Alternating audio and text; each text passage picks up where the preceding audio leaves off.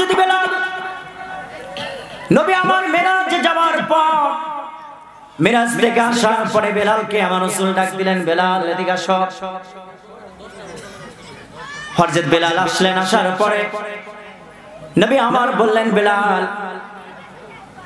আমি আমি আগে যাবার মানে মেরাজে গিয়ে তোমার জুতার আওয়াজ, জান্নাতের ভিতরে শব্দ পাইলাম। কারণ কি? কি আমল করো? বেলাল ভাই, এমন কোন আমল তো নাই। এমন কোন আমল আমার নাই যে আপনার আগে আমি জান্নাতে যাব। বা খরমের আওয়াজ পাবেন, আমার এমন কোন আমল নাই। রসুল বলেন, না, বেলাল, সত্যি করে বলো, কি আমল করো বলো। বেলাল বলে, নবী আমার, এমন কোন আমল আমার নাই, কিন্তু একটি আমল আমি করি, যখন আমার ছুটে যায়, তখনই আমি উজু করে আর হালতে দুই রেখাত নামাজ পড়ি। যখন উজু চলে যায়, তখনই উজু করি। ওই উজুর হালতে দুই রেখাত নামাজ। এটা হলো সাহাবিদের উক্তি। সাহাবিদের অবস্থা আমার আপনার অবস্থা। স্ত্রী, স্বামী, স্ত্রী সহবাস হয়েছে ধরেন দশটায়, রাত দশটায়। সে গিয়া গোসল করতেছে, পরের দিন দশটা। স্ত্রীর সাথে সহবাস হয়েছে অথবা যুবকদের স্বপ্ন দোষ হয়েছে। এই রাতে সে গোসল করে আগামী দিন তার জোহর নামাজের পরে। আল্লাহ তানা করুক ওই সময় যদি আজরাইল আলাইহিস সালাম যদি চলে আসে, এর অবস্থা হবে কি? আল্লাহ তাআলা করুক যদি এই সময় যদি আজরাইল আলাইহিস সালাম চলে আসে, তার অবস্থাটা কি হবে? তার এই পাক জবান দিয়ে তার কালেমাটা নসিব হবে না, কারণ সে তো নাপাক। একই ধারণা পাবে। কোন মানুষকে যদি আপনি দাবাত দাবাত দেন, নামাজের জন্য দাবাত দেন, সে বলে, হুজুর, শরীর পাক নাই। কেন? পেশাব করে কুলুপ নেই। কুলুপ নেই না। নবী আমার বিশ্বনবী মোহাম্মদ রসুল্লাহ এক রাস্তা দিয়ে যাচ্ছেন, হঠাৎ করে একটি আওয়াজ পেলেন। আওয়াজ পাওয়ার সাথে সাথে আমার নবী দাঁড়িয়ে গেলেন। সাহাবীদের বললেন, সাহাবীরা যাও, খেজুরের বাকল নিয়ে আসো, ডাল নিয়ে আসো। খেজুরের ডাল নিয়ে আসলেন। নবী আমার দুটি ডাল গেড়ে দিলেন, যেটা প্রচলন হয়েছে বাঁশ গাড়ে দুটি যে চার, কোনাতে চারটা গাড়ে না খেজুরের ডাল? অথবা বাঁশ গাড়ে। রসুল গাছছে কোন আশায়, কোন ধান্দায়, আর আমরা গাড়ি কোন ধান্দায়? রসুলের নিয়ত হলো, এখানে গেড়ে দিলাম যদি গাছটা হয়ে যায়, আর এই গাছের নিচে যদি কোনো মানুষ এসে কিছু সময়ের জন্য যদি একটু রেস্ট নেয়। ছায়ার নিচে যদি আর এটি যদি মালিকের কাছে গ্রহণযোগ্য হয়ে যায়, যদি সব হয়ে যায়, এখানকার কিছু সব এই কবরলা পাবে। আর যদি এই সব পেয়ে যদি আমার আল্লাহ তালা দেখে খুশি হয়ে যদি পিছনে গুণা মাফ করে দেয়।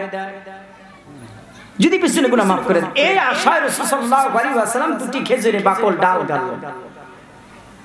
সাবিরা তাদের ভিতরে একটি প্রশ্ন আসলো যে আপনি এইখানে কেন ডাল গালেন? এই মুরু প্রান্তে রসুল বলেন, এখানে কবর, এখানে আজাব হচ্ছে। এখানে আজাব হচ্ছে, এই জন্য দুটি বাকল, দুটি ডাল কেটে দিলাম।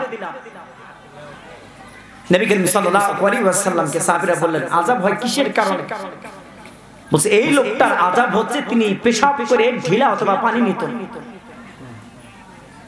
কবরে অধিকাংশ মানুষের আজাব হবে ঢিলা, কুলুপ না নেওয়ার কারণে। নামাজের ভিতরে যে সতেরো ফরজ আছে, তেরো ফরজ আছে, এগুলো তো মানুষ আর জানে না। জায়গা পাক, সতর ঢাকা, শরীর পাক, এগুলো তো মানুষ, কাপড় পাক, এগুলো তো মানুষ আসলে জানে।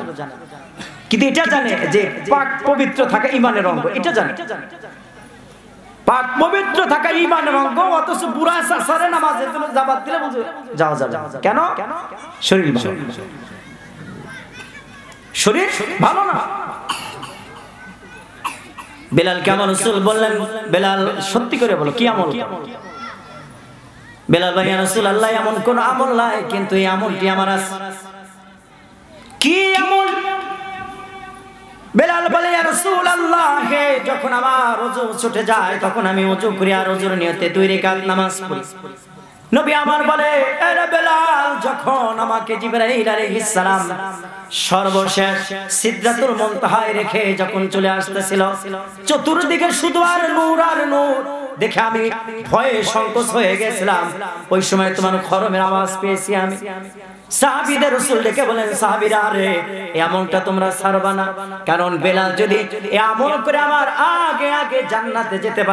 আমার তো মনে হয়, আমার দিল বলে, যদি তোমরা আমল চালু করে দাও, বেলালের এই আমলের কারণে তোমাদের গুণ আমার আল্লাহ মাফ করে দিতে পারে। তোমাদের গুণা মাফ করে দিতে এই হলো সাহাবিদের জীবন। আমার আপনার জীবন আর তাদের জীবন কিন্তু এক না, কিন্তু তারা কিন্তু এই আকাশ, এই বাতাস, এই মাটি, এই সূর্য, চাঁদ সব কিন্তু এক আল্লাহ এক ছিল। নবী এক কোরআন এক দিন এক, ইসলাম এটাও এক। কিন্তু মানুষের ভিত্তি পার্থক্য কোথায়? অবক্ষয় হলো গোড়াতে, যেটা মূল আলোচনা, গোড়াতে, এ করা। পড়তে বলে আল্লাহ প্রভুর নামে আর আমরা পড়ি কার এ হলো সাহাবিদের জীবন, আর আমার আপনার জীবন এক না। সাহাবিরা না খায় থাকতো কিন্তু হারাম খাইতো না সুদ খাইতো না। সাত দিন চার দিন পাঁচ দিন পর্যন্ত সাহাবিদের চুলায় আগুন জ্বলতো না। কারও টাকা আত্মসাত করে নাই ডাকাতি করে নাই চুরি করে নাই মাস্তানি করে নাই চাঁদাবাজি করে নাই। এটা সাহাবি। এই জন্য রসুল বলছে আমি হাদিস আর সাহাবি। এই দুটা জিনিস যদি কেউ ফলো করে ফলো করে যদি চলে চলতে দেরি হবে। আমার আল্লাহ তালা বলেন, পিছনে গুনাহ মাফ করতে আমার আল্লাহ তালা দেরি করবে না। মাফ করবে দেরি করবে না মাফ করতে। এই যে আমরা এখানে যারা উপস্থিত আছি, কয়জন জীবন যাপন সাহাবিদের অনুসরণ করি। কয়জন? রসুলের অনুসরণ অনুকরণ কয়জন? কয়জন করি? রসুল শুধু অনুসরণকে এই মাহফিলে আসা? কথা বলেন না কেন? শুধু মাহফিলে আসা। রসুলের অনুকরণ কি? শুধু একটু জাকাত দেওয়া? রসুলের অনুকরণ কি? যে মিঠা মিঠা কথা বলা? না। রসুলের জীবন দশায় যা করেছে, অল দ্য ওয়াল সাইড। মেনে নিয়ে জীবনের সাথে চলার নাম হলো ইসলাম। আর এই চলাটা যারাই চলবে, তাদেরকে আমার আল্লাহ তাআলা বিনা হিসাবে জান্নাত দিয়ে দিবে। সুবহানাল্লাহ। কয়জন আছে সারা সন্ধান পুরীরনকে একটু ছাটাই বাছাই করে, যারা দাঁড়াইছে, এদেরকে একটু ছাটাই বাছাই করেন না। কয়জন রসুলের কদম অনুযায়ী চলে, কয়জন রসুলের আদর্শ অনুযায়ী চলে? নেতার বিষে মানুষ দৌড়ায়, কিন্তু নামাজের বিষে মানুষ দৌড়ায় না। তার কবরে চিন্তা নাই? আরে ভাই, একটা মানুষ বিদেশ থেকে আইসাই তিনি ইন্তেকাল করেছে। বাস্তব চিত্র আপনি কোন ধান্দায় আছেন? আপনি আরও বাঁচবেন আরও বাঁচবেন আপনি একশো বছর, পাঁচশো বছর। তাকে ফেরাউনের কি কাহিনী? তিনশো বছরের ভিতরে তার কোনো ঠান্ডা, জ্বর, কাশি কিছুই আসে তিন শত বছর। আছে, যেদিন মশা নাকের ভিতর দিয়া মাথায় যা তারপরে তিনি তিনশো বছর বেঁচেছেন, তিনশো বছর। তিন শত বছর তিনি বাচ্চেন পৃথিবীতে। আয়ু শেষ জুতার বাড়ি খেয়ে শেষ। না আপনার আয়ু শেষ হচ্ছে আপনি বুঝতেছেন না। প্রত্যেকটা সেকেন্ডের দাম আছে বাবা। সময়ের দাম আছে ঘণ্টার দাম আছে মিনিটের দাম আছে প্রত্যেকটা মিনিট ঘণ্টার দাম আছে। প্রত্যেকটা সময়ের দাম আছে। সাবিনা অযথায় কোনো সময় বসে থাকতো না রে বাবা। সাহেবের একটু অবসর পাইলে সুবহানাল্লাহ বলতো। আল্লাহু আকবার বলতো বলতো। আর মাঝে মাঝে দোয়া পড়তো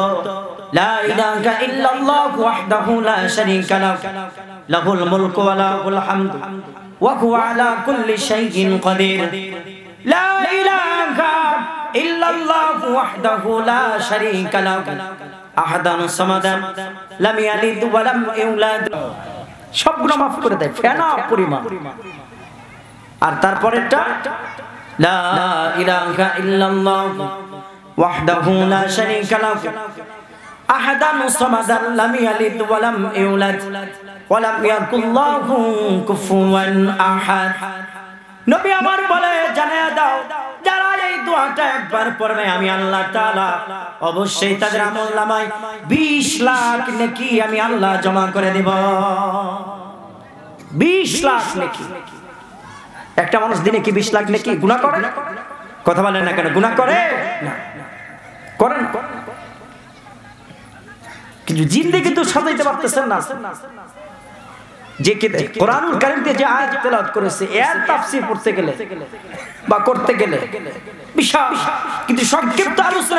আপনি পারতেছেন না। তার একটি কারণ আপনার ভিতরে দুনিয়া পারতেছেন আপনি কবর কথা মনে হয় আপনি হাসনের কথা মনে নাই ভুলে গিয়েছেন। আপনার মির্জানের কথা আপনার মনে নাই আপনি ভুলে গিয়েছেন।